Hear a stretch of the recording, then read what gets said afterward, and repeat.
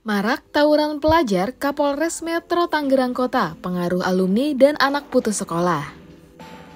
Kapolres Metro Tangerang Kota Kombes Pol Komarudin menemukan kesimpulan baru terkait maraknya remaja termasuk yang masih berstatus pelajar terlibat tawuran. Bahkan baru-baru ini dari pengamanan 10 remaja dari kelompok Teluk Naga Independen, tiga di antaranya membawa celurit.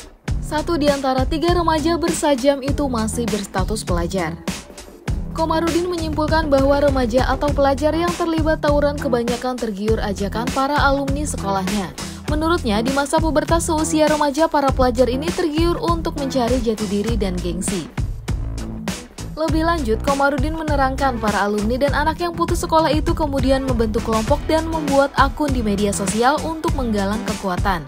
Setelah terbentuk melalui media sosial, kelompok remaja yang terindikasi tawuran itu akan bersinggungan dengan kelompok lain yang memicu tawuran.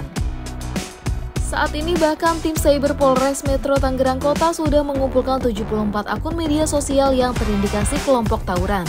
Salah satunya termasuk akun Instagram Teluk Naga Independen. Dari puluhan akun tersebut, pihaknya juga telah mendatangi pengelola akun untuk mengingatkan agar tak melakukan tawuran. Sebelumnya diberitakan sebanyak 10 remaja di Teluk Naga, Tangerang diamankan lantaran diduga akan melakukan tawuran. Bahkan polisi menemukan senjata tajam berupa celurit.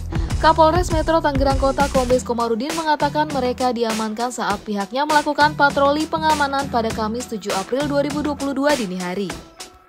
Pengamanan itu, kata Komarudin, juga hasil mapping di media sosial dengan nama akun Teluk Naga Independen. Hasil pemeriksaan kata Komarudin ada tiga remaja yang kedapatan membawa sajam celurit. Ketiganya ada yang masih pelajar SMA, alumni, dan anak putus sekolah. Meski begitu, pihaknya belum dapat menyimpulkan Teluk Naga Independen yang aktif di media sosial itu termasuk ke dalam kelompok gangster atau tidak.